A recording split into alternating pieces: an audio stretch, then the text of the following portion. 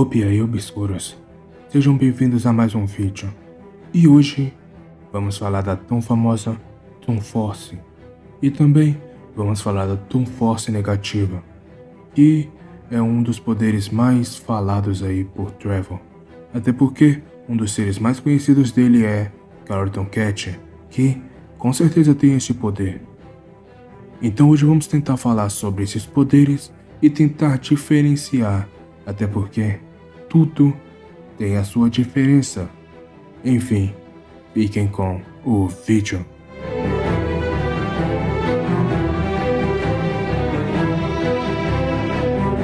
Primeiramente, qual a capacidade da Toon Force? É, esse é um bom ponto, pois até agora não tem muito tipo de se derrotar, até porque é exatamente um poder extremamente alto e potente. Entre seus poderes incluem alteração da realidade, que permite que seres alterem a realidade, é claro. Quebra da quarta parede, que é basicamente você interagir com as divisórias de uma página, de um quadrinho. Basicamente você pode falar com qualquer coisa ou qualquer pessoa, até mesmo com autores e um dos poderes que deixam esse poder em um patamar extremamente alto, a quebra das leis das físicas. Podem quebrar qualquer lei da física, ou seja, podem fazer coisas impossíveis virar impossíveis. Ou seja, isto deixa extremamente poderoso. Outros conhecidos como voo, superforça, resistência, teletransporte são outros que vocês já podem conhecer, até porque Alguns personagens que eu vou citar aqui, vocês já podem ter visto eles falando ou usando. Pica-pau, Pernalonga, Jerry, Tom e Jerry, é claro. Mickey Mouse, Lobo, o Lobo da DC Comics, para quem não conhece aí.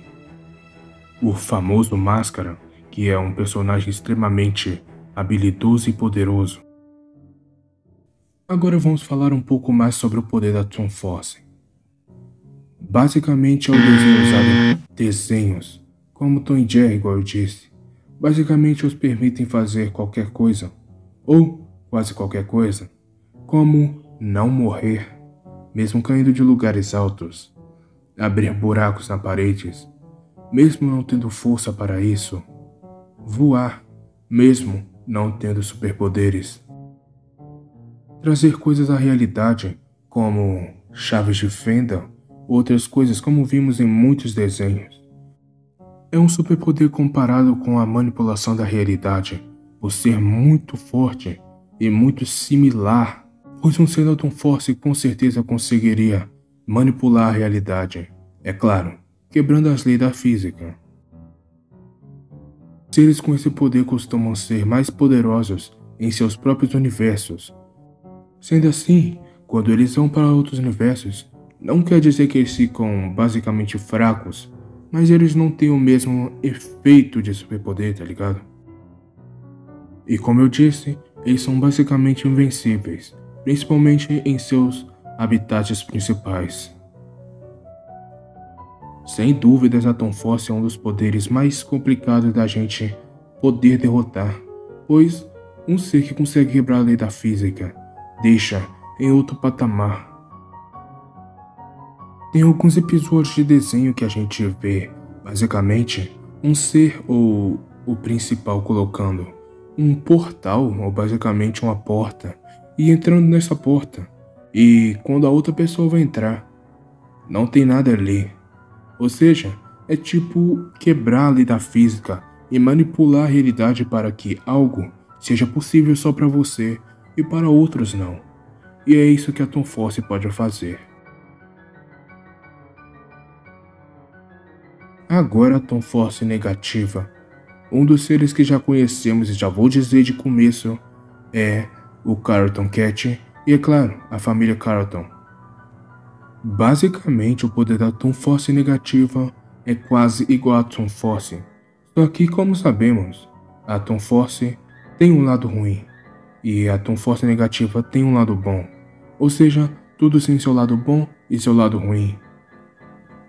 Ou seja, Basicamente, Em teoria, a Tom Force negativa é o poder da Tom Force, só que usada de forma negativa, ou seja, que vá causar mal a pessoas, sendo para machucar ou até mesmo casos mais graves. Todos os poderes listados em Tom Force é listado em Tom Force negativa, só que tem uma diferença breve. A Force negativa é um pouco mais forte, pois não é limitada. Como vimos em desenho, a Force é vista por todos e ela é usada mais para nos divertir, enquanto a Force negativa é usada para nos dar medo ou nos mostrar que a realidade é uma falsidade. Como eu assisti um desenho bem antigo que eu não me lembro o nome, este poder usado para causar pesadelos em pessoas e mostrar que a verdade não é o que está mostrando, mas sim a verdade é que tudo tem seu lado ruim. Ou seja, basicamente é usada para ver as pessoas morrerem, mostrar as pessoas morrerem, pois este é o poder real da Toon Force negativa. É usado a Toon Force para o mal. Assim como vemos Carlton Cat fazendo. Necessariamente, a Force negativa não existe, mas ela costuma existir quando é usada para o mal, assim como vemos. Em outras palavras, a Force negativa é a Force. Um dos feitos mais estranhos e mais macabros foi o da família Carlton, que conseguiu invadir o universo Trevor, até porque eles usaram isso quebrando as leis da física, e aí passaram para lá. Eu não sei se eles precisam realmente se alimentar de humanos, mas é o que eles fazem. Um ser que eu diria ter a Toon Force negativa é o Lobo da DC, até porque ele não é simplesmente um personagem do bem.